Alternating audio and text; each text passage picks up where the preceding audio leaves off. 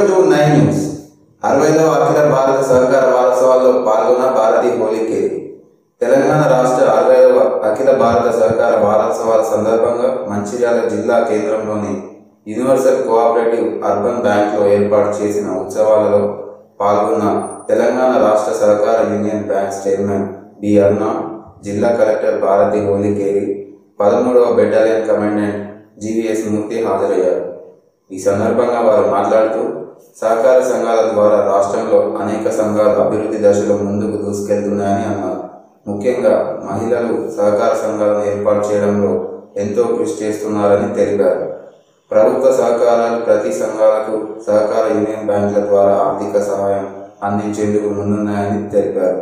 ఈ కార్యక్రమంలో DCO Sanjay Reddy chairman V Vinay Kumar MD Sai Prasad రాష్ట్ర సహకార సంఘాల సభ్యులు సంబంధిత అధికారులు పాల్గొన్నారు. ఈ రోజు ఇక్కడ వచ్చేసిన ప్రతి ఒక్కరికి వేదిక మీద ఉన్న పెద్దలకి అలాగే ఈ సహకార వారోత్సవంలో పాల్గొంటున్న ప్రతి ఒక్కరికి నా నమస్కారాలు. చాలా వరకు ఇప్పుడు దాకా మాట్లాడారు. సహకారం ఎందుకు అవసరము? సహకారంతోనే మనం ఏమేమి చేయగలము అని. కానీ నేను ఇంకా ఒక స్టెప్ ముందుకెళ్ళి చెప్పాలి అనుకుంటున్నాను. ఇన్ఫాక్ట్ మనము ఈ రోజు ఇక్కడ చూస్తున్నది నాకు ట్రిప్కి ఇది రిస్ట్రిక్ట్ అయిందనేది కాదు. నేను ఇప్పుడే చెప్పినట్టు ప్రతి ఒక్కరి జీవితంలో అది అవసరం.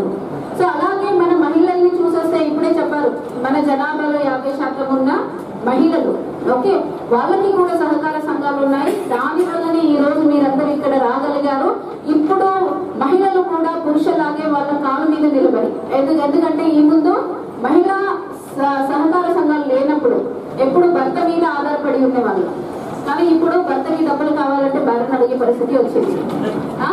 మీ గ్రూప్లో నాకు కొంచెం డబ్బులు ఇప్పించు లోన్ ఇప్పించు అని అడిగే పరిస్థితి వచ్చిందంటే అది దేని వల్ల? సహకార ఒక సంఘం వల్లనే.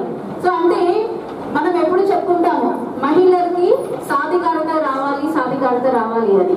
అంటే ఇది మహిళా సాధికారతతో భాగం కూడా.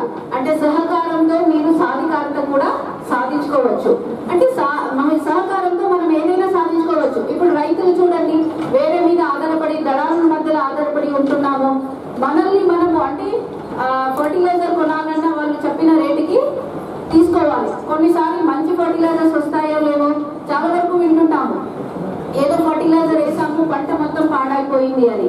కానీ కరెక్ట్ అయిన సరి అయిన నాణ్యతమైన ఫర్టిలైజర్స్ కావాలన్నా కరెక్ట్ ధరానికి తీసుకోవాలన్నా ఈరోజు రైతులందరూ వాళ్ళు సహకార సంఘాలని చేసేసుకొని ముందుకు వచ్చేసి వాళ్ళ రైతులకి అంటే వాళ్ళ తోటి రైతులకి కూడా వాళ్ళు సహా ఉన్న ఉండండి లేదా ఏదో ఒక వ్యక్తి ఆడే గేమ్స్ అన్ని అనుకోండి వాళ్ళ కోచ్ సహకారం వాళ్ళ ఫ్యామిలీ సహకారం అందరూ ఉంటేనే అది సాధ్యం.